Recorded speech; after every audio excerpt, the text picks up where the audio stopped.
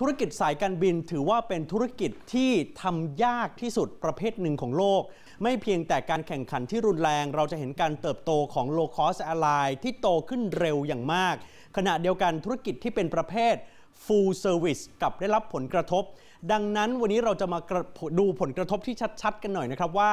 สายการบินที่แข่งกันรุนแรงอยู่แล้ว แล้วเจอกับสถานการณ์ของโรคโควิด -19 ที่เกิดขึ้น ตอนนี้เกิดภาวะช็อกชัดเจนครับ เพราะว่าคนอยู่กับบ้าน บางประเทศปิดประเทศไม่ให้คนออกจากบ้านด้วยซ้ำไป สายการบินก็ไม่มีไรายได้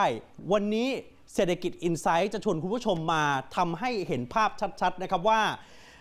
จากนี้ธุรกิจสายการบินจะเดินไปสู่จุดที่ล้มละลายหรือไม่และมากน้อยแค่ไหน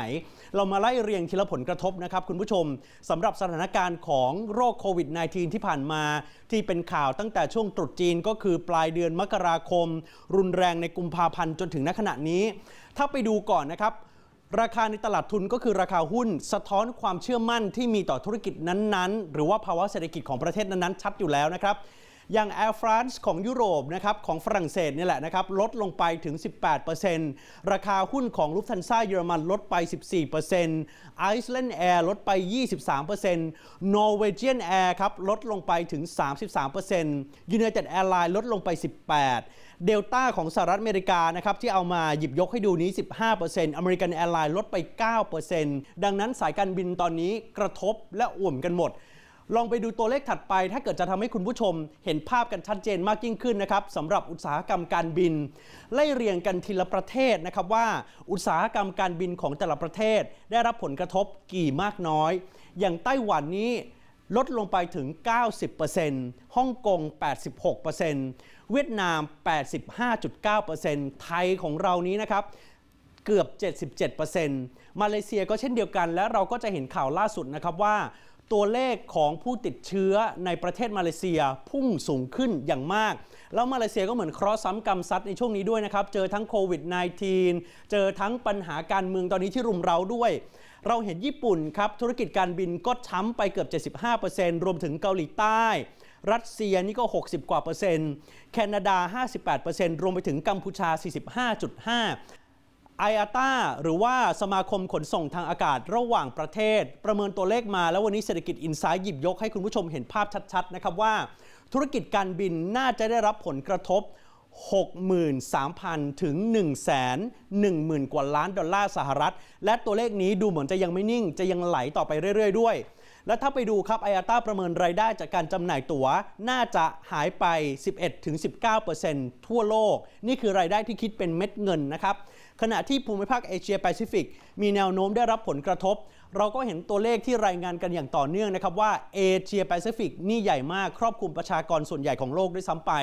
รวมถึงประเทศจีนเองตอนนี้ที่ในประเทศเขาสายการบินก็ได้รับผลกระทบอย่างหนักด้วย ให้เห็นภาพว่าเงินจะหายไปจากระบบ เงินจากธุรกิจหายการบินหายไป 3.5 ล้านล้าน คือกรณีที่เลวร้ายที่สุด ณมุมมองที่มีตอนนี้ ธุรกิจที่ผ่านมาเขาปรับตัวกันอย่างไร พาให้คุณผู้ชมเห็นภาพนะครับ อย่างเช่นคาเท่แปซิฟิก3 ใน 4 กองบินฝูงบินของคาเทจอดนิ่งประมาณ 120 ลำ ขณะที่ลุฟทันซ่า 1 ใน 5 ของจำนวนสายการบินงดให้บริการถึง 150 ลำ ขณะที่ British Airways ของสหราชอาณาจักรเที่ยวบินลดลงไปมากกว่า 200 เที่ยวบิน Flyb นะครับประกาศล้มละลายและพนักงงาน 2,300 คนตกงานทันที ขณะที่ American Airlines ลดเที่ยวบินลงไป 75%ยาวไปจนถึงพฤษภาคม จีนฮ่องกงสัมพันธ์กันอยู่แล้วนะครับสำหรับประเทศที่เป็นกลุ่มเสี่ยงกับสายการบินที่จะมีปัญหา อย่างไทยเราก็เช่นเดียวกัน เราก็จะเห็นว่า low cost airline อย่าง Air Asia เข้ามาทำตลาดในบ้านเรา แต่ตอนนี้ Air Asia ก็ได้รับผลกระทบนะครับ อย่างสายการบิน JetBlue Airway ครับเขาก็ให้ผู้โดยสารเนี่ยสามารถเปลี่ยนตั๋วได้ โดยที่ไม่มีค่าใช้จ่าย ล่าสุดครับ Air Asia เขาก็ประกาศเหมือนกันนะครับว่า ใครซื้อตั๋วโดยสารก่อนช่วงเดือนมีนาคม ก็สามารถที่จะเปลี่ยนแปลงวันเดินทางได้ โดยไม่มีค่าใช้จ่าย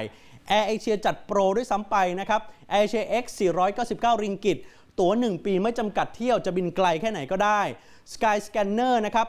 ตอนนี้ก็ไปรวบรวมข้อมูลมาแล้วเห็นว่าตั๋วเนี่ยก็ได้รับผลกระทบถูกลงถึง 25% Vietnam Airlines ครับมีโปรศูนย์ดอลลาร์แต่เขาก็จะมีค่าธรรมเนียมต่างๆนะครับเพื่อที่ให้ประชาชนยังจะคงมาใช้บริการมากยิ่งขึ้นคำถามก็คือระหว่างนี้เนี่ยแหละครับที่ธุรกิจการบินมีปัญหาจะหมุนเงินกันอย่างไร กับธุรกิจที่ถือว่าท้าทายมากที่สุดในโลกขนาดนี้ อาจจะเห็นการฟื้นฟูกิจการ อาจจะเห็นการยื่นล้มละลาย หรืออาจจะเห็นเหตุการณ์ที่ไม่เคยเกิดขึ้นกับธุรกิจสายการบินอย่างที่เราเคยเห็นมาก่อนก็ได้ ขอบคุณที่รับชม TNN ช่อง 16 นะครับ ถ้าไม่อยากพลาดการติดตาม อย่าลืมกด subscribe และกดกระดิ่งครับ เรายังมีวิดีโอที่น่าสนใจอีกเพียบ